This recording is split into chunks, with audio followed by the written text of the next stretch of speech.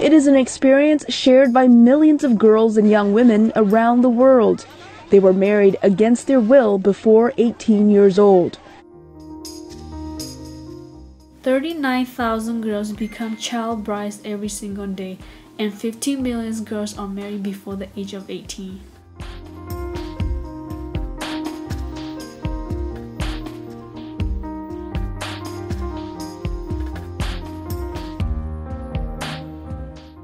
Forced marriage is a marriage between two people where one or both of the individuals do not give their consent for the marriage to take place.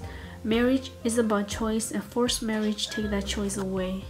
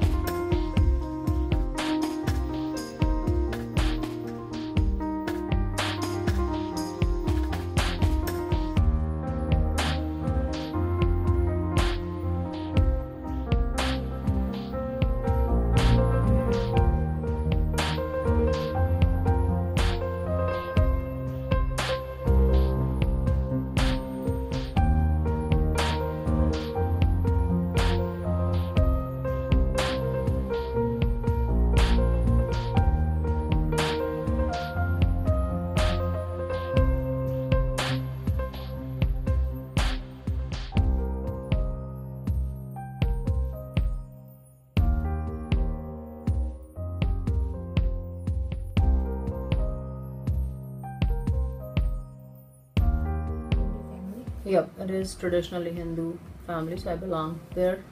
I do.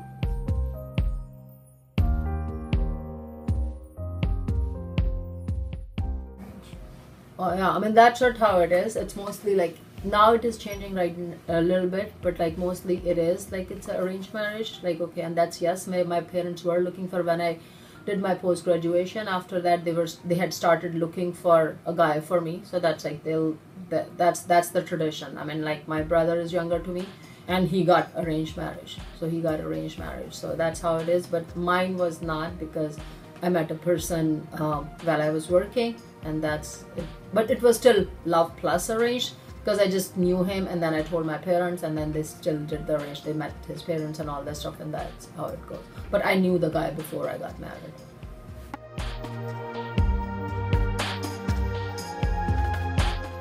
انا انا ب... انا صح انني هربت من اهلي صح انا ما عاد اشتيش عندهم خلاص انا اشتي عند اعيش عند عمي ايش براءة الطفولة ايش ذنب الاطفال من تتزوجوهم كذا يعني مثلا انا الحين انا بحل مشكلتي صح بس بع- بعض الأطفال براءتهم ما يحلوش مشكلتهم.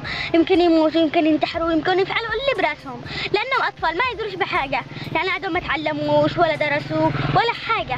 I was 14 when my mother presented the photograph of the man I was to learn I was promised to when I was eight. And I was the one who said, No, I'm not marrying this man. I Unlike her sisters, Sanghera ran away and was disowned by her parents and siblings. What happens in, in my family is no different to what is happening today in Britain. Indian girls in Britain and other parts of the world are still being married off without their consent, and they are accepting the practice as normal.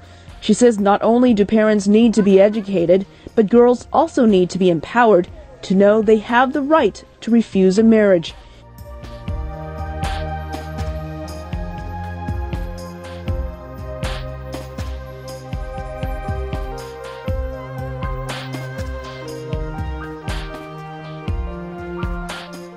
Child marriage is a traditional practice that in many places happens simply because it has happened for generations. In many communities where child marriage is a practice, girls are not valued as much as boys. While it may be a culture traditional within some communities for the families to force marriages, but there is no culture traditional that expects people to unwillingly enter into marriages.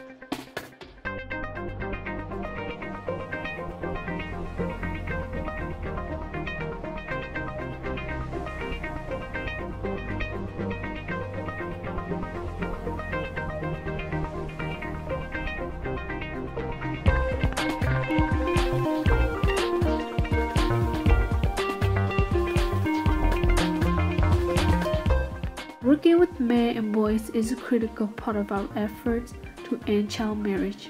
In many communities, it is the men who hold the power and make the decision.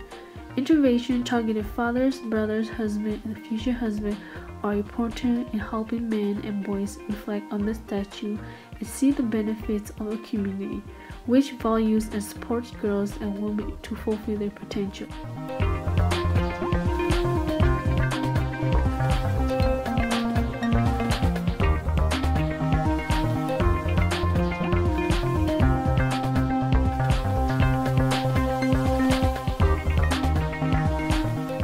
Religious and traditional leaders too have the potential to play a key role in speaking out against child marriage and changing the community attitude. A community where religion and traditional leaders play a prominent role in decision making or influencing the prevailing norms, targeted intervention can support them to become positive advocates for change who fully understand the implication of child marriage for girls and their families.